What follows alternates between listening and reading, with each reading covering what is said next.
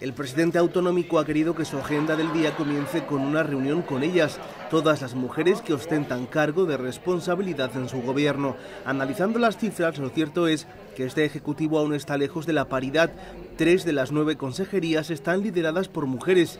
Ellas también están al frente de 25 de los 66 altos cargos que tiene el gobierno. Fernando López Miras les ha lanzado un mensaje de agradecimiento. Son la voz y el rostro de lo mucho que nos queda por hacer.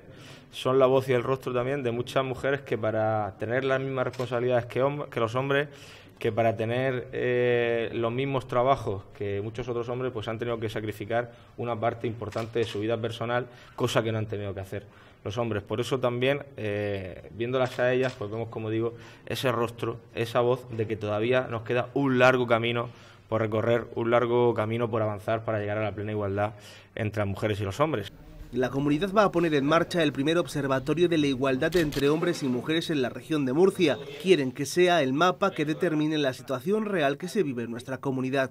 Le daremos forma este año, lo pondremos en marcha y lo que queremos es, por supuesto, estar concienciados, saber perfectamente cuál es la situación de la región de Murcia, cuál es la situación no solo laboral y en cuanto a salarios, sino en cuanto a igualdad de oportunidades sobre todo si es cierto que las mujeres tienen las mismas oportunidades que los hombres en la región de Murcia y si no es así, actuar de forma concreta.